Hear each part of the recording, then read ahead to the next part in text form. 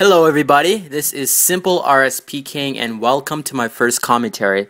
First of all, let me apologize in advance for uh, if I sound a little bit down. I just had uh, basketball practice. Um, it's been going on for a while and it's pretty tough. I'm pretty tired, but I want to get this commentary out of the way. So, today I want to talk about the Evolution of Combat update that is soon coming to RuneScape. In case you're not familiar with EOC, let me briefly fill you in. Remember back in the day when RuneScape was heavily criticized for having terrible graphics? And then they released that huge graphic update and pretty much shut all those critics up? Well, this update is even bigger. It is a complete rework of how the whole RuneScape combat system works. With the update, there are features such as dual weapons, an action bar, as well as many new items pretty much what will happen is that modern day PKing, you know, how people PK today will be completely changed. Pretty much you will have to learn a whole new interface. Now, here is the issue. Most people love PKing as it is right now and completely hate the idea of the evolution of combat. Before I state my opinion on this, I'd like to mention that I understand why people feel this way.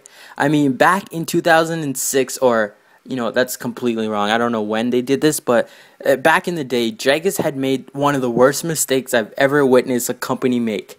They had removed the entire RuneScape wilderness in their efforts to stop real world trading. Now, Jagex knew very well that the wild was the heart of RuneScape, but because they were losing money from real world trading companies, they ignored how their players felt and went through with the update anyways. Many people, including myself, quit RuneScape immediately after this because we simply felt betrayed. Eventually, though, Jagex, Jagex, ah, whatever, however you say your company name, smartened up and undid their misdoings, and that's when I, along with many others, returned to the game. It really does seem, though, like Jagex, as well as their whole development team, fails to realize just how important PKing is to the game. It is honestly what runs RuneScape. I mean, look at the RuneScape economy. It is heavily based on PKing. How it works is people work on in game skills to make money, and then they spend that money on items necessary to fight other people. And then the cycle repeats. PKing also helps RuneScape advertise itself. I mean, just look at how much YouTubers make RuneScape PKing videos. Come on, Jake, this PKing is awesome.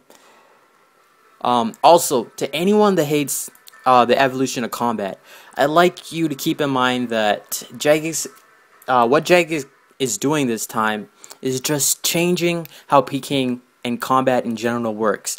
They are not completely removing anything as they once did in the past. Um, anyways, to sum things up, most people see EOC as another major mistake on Jagex's part. I'm quite curious if history will repeat itself. I wonder if players will rebel quit and forced Jagex to comply to their terms once again. I mean, uh, this mistake, in my opinion, is not as bad as, well, if you see this as a mistake, it's not as bad as the mistake Jagex once made. So I personally don't think uh, this will happen. But um, I'm curious if this will. With all that in mind, let me bring my opinion in.